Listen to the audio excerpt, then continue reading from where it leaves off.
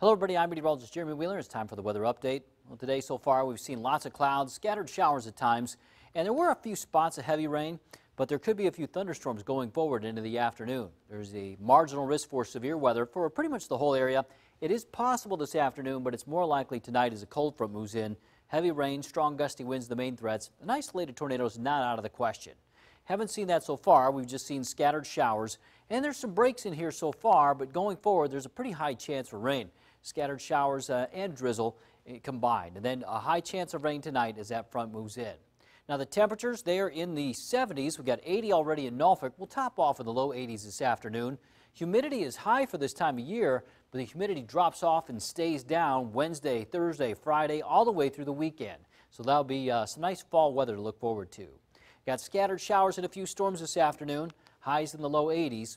Tonight will be in the mid 60s. We'll get scattered showers and storms, and again, some of those could be on the strong side. Tomorrow, a few showers in the morning and then dry in the afternoon, 74, dry and 79 on Thursday.